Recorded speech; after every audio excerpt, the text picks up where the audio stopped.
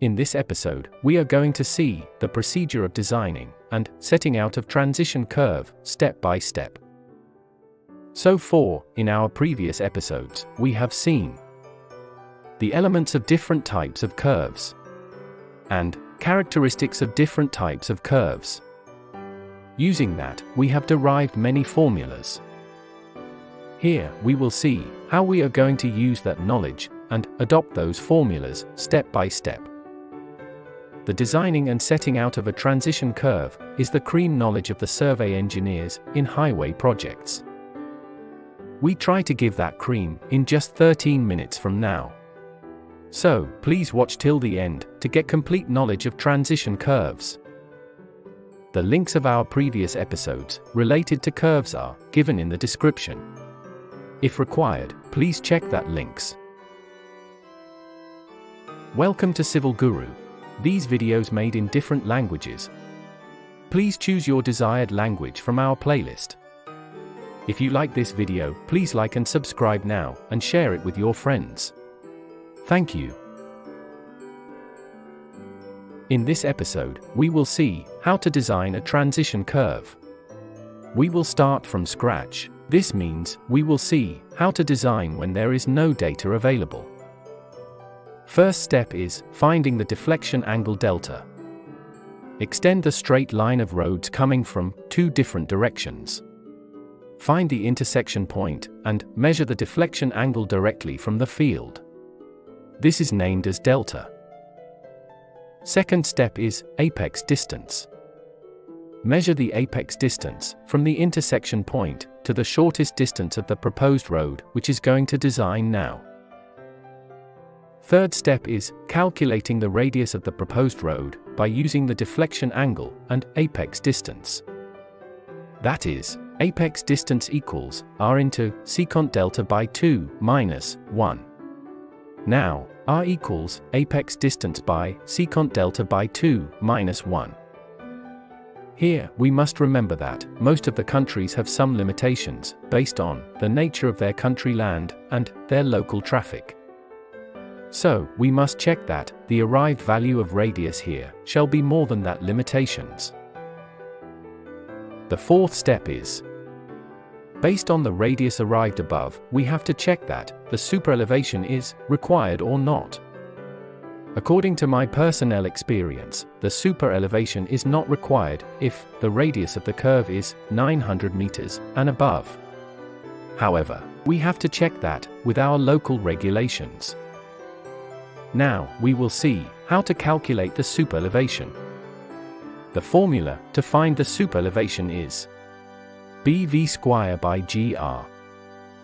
Here, B is the width of the road. V is the design speed of the vehicle in meters per second. G is the acceleration due to gravity. And R is the radius calculated just above. If super elevation is not required, then the transition curve also not required. And we may go for designing of simple horizontal curves. Now, we will assume that the super elevation and the transition curve is required. And we will go further to design the transition curve. The next fifth step is we have to calculate the length of the transition curve to implement the super elevation and to introduce the centrifugal force gradually. The formula to calculate the length of spiral curve ls equals v cubed by alpha r. Here, the v is the design speed of the vehicle in meters per second. r is the radius of the circular curve. And alpha is the rate of change of radial acceleration, in meters per second square.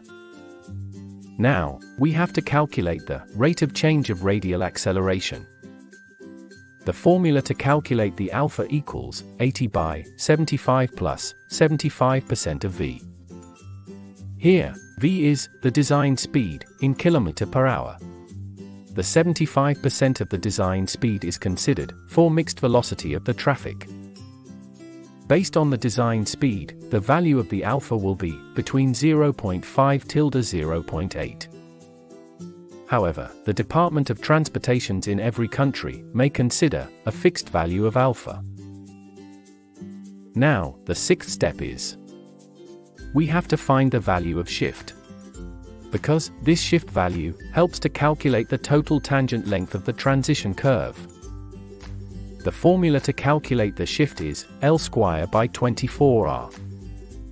Here, the L is the length of spiral curve. And R is the radius of the circular curve. The seventh step is we have to calculate the total tangent length to fix the tangent point. We already knew the formula to find the tangent length in simple horizontal curve is TL equals R into tan delta by 2. Here, we have to add the shift value of s, along with radius r, to get the exact radius of the combined curve. And, along with that, add the extended transition length also. That is L by 2. So, to find the exact tangent length, TL equals R plus S into tan delta by 2 plus L by 2. Now, we can measure the tangent length from the intersection point and fix it as tangent point on the road. The eighth step is finding the value of delta S. The formula to find the delta S equals L by 2R. Here, we may notice that the length of spiral, L is in meters. And R is the radius of circular curve, that is also in meters. So, the value arrived by using this values will be in radians. To convert this into degrees, multiply with 180 by pi. That is, delta S equals 180 L by 2 pi r. Now, the value is in degrees. Now, let us calculate the value of delta C.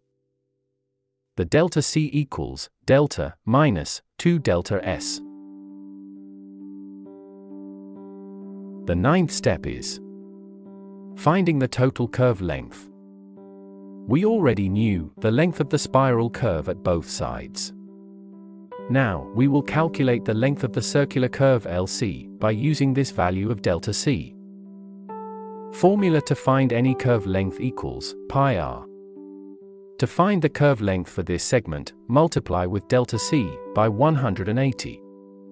Now, LC equals pi r delta C by 180. To find the total curve length, add the length of spiral curves at both sides. Finally, the total curve length equals pi r delta C by 180 plus 2 ls.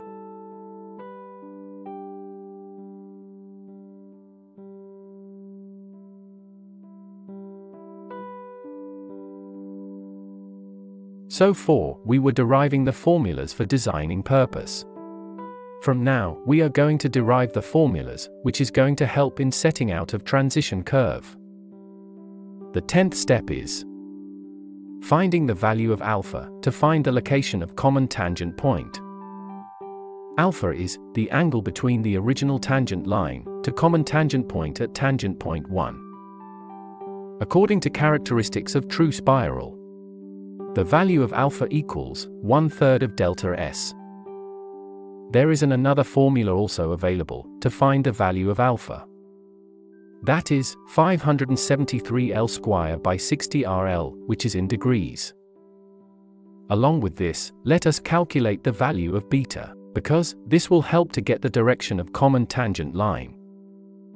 Beta is the angle between the common tangent line to tangent point 1, a common tangent point. Again, as per the characteristics of true spiral, the value of beta equals 2 thirds of delta S, or equals 2 alpha.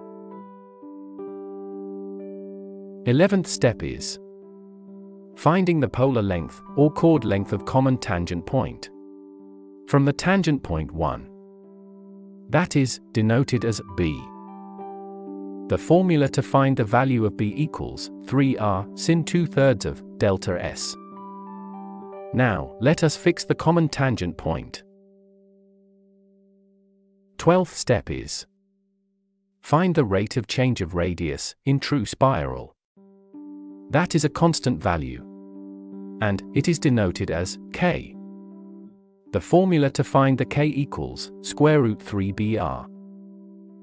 And the 13th step is to fix the intermediate point of the spiral curve, we must calculate the polar length of the intermediate points. That is, the chord length of intermediate points.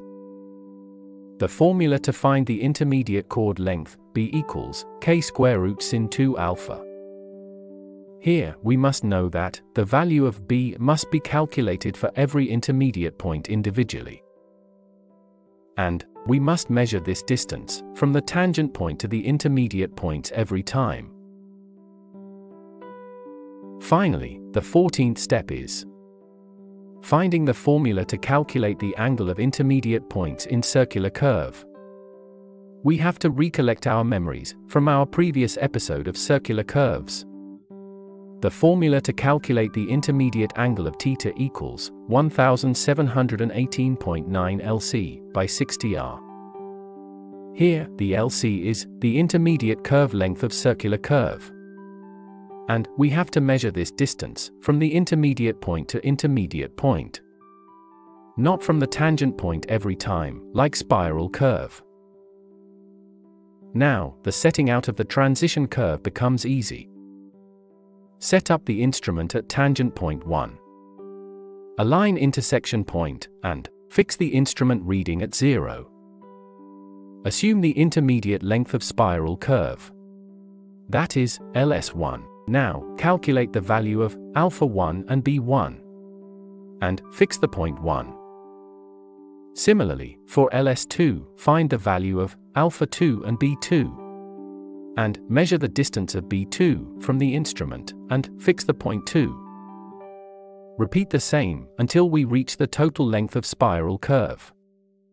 Here, we have to check the last alpha value must be equal to one third of delta S. Now, shift the instrument to common tangent point. Focus the in instrument to tangent point 1. And set the reading at 0 and rotate the instrument until we reach the angle of 2 alpha. This position is the alignment of common tangent line.